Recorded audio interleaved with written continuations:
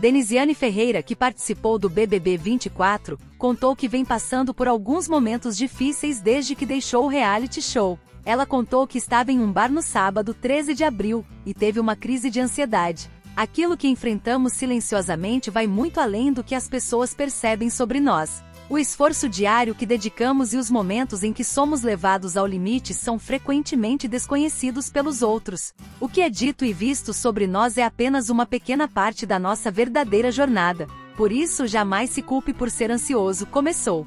Denisiane explicou que a sensação é como se tivesse medo de falar, medo de passar mal e medo de ser ela mesma. Ontem tive uma crise de ansiedade no meio de um bar, e agora elas estão vindo sem um gatilho específico. E como se eu vivesse com medo. Medo de falar, medo de passar mal, medo de ser eu. É como se houvesse um outro eu dentro de mim, sempre pronto para me apontar o dedo. Todas essas sensações são paralisantes. Por dentro existe um turbilhão de emoções e sentimentos, por fora estamos estáticos, completou. Por fim, ela reclamou do hate desproporcional que está recebendo, principalmente por não ter promovido rivalidade alguma. Eu nunca vou entender esse hate desproporcional, principalmente por nunca ter me proporcionado ou ter incentivado qualquer rivalidade feminina, disse.